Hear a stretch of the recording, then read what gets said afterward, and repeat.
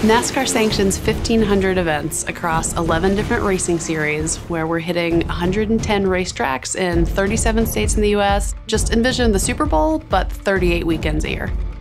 Every week, the broadcast goes live at a certain time. We have to be ready, there's no delay.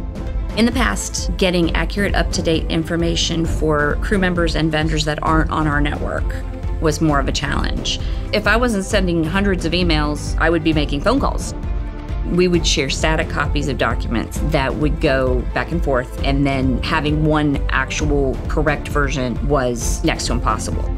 Communication has to be spot on and efficient and quick and accurate. So as we started the transformation Office 365, we really went ahead and redid our intranet site. We call it Inside Track, which is built on the new SharePoint. PowerApps has given us the ability to build cross-platform rich mobile applications connected to SharePoint in a matter of days instead of weeks. Now with SharePoint, it's totally changed the way we do business. We have the ability to push the information so that people can get it when they need it.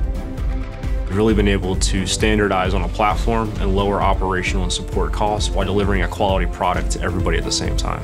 Now that we're leveraging Office 365, we're able to really take our talent and focus on more sophisticated technical operations as we try to transform NASCAR for the next five or 10 years.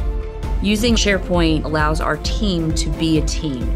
Our partnership with Microsoft has been a huge win. Utilizing Office 365 and SharePoint Online have allowed us to really focus on making great racing that our fans are excited to watch.